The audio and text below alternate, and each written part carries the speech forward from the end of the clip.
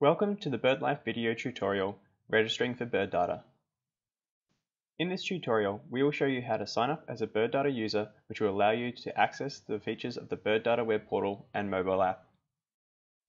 All new and existing Birdata users are required to sign up to the new Birdata system in order to use the web portal and mobile app.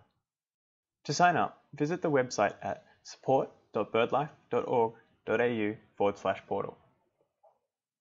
At this site, simply click the Sign Up Here text, which will redirect you to the registration page. Simply complete your details and select any newsletter from BirdLife you wish to subscribe to. Finally, choose a username and password for your Birdata account. These will be your login details for both the web portal and mobile app access. You will shortly receive an email verifying your registered username. Using the username and password you've just chosen, you'll now be able to access the Birdata web portal and mobile app. Please note that existing Birdata users will not be able to see their previous surveys or access the reporting functions for up to 48 hours while we sync your new and existing accounts. New users can access the web portal and mobile app and start recording immediately.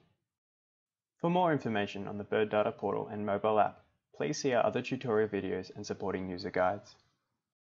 To start using the Birdata web portal and record surveys, visit the Birdata homepage at birdata.birdlife.org.au.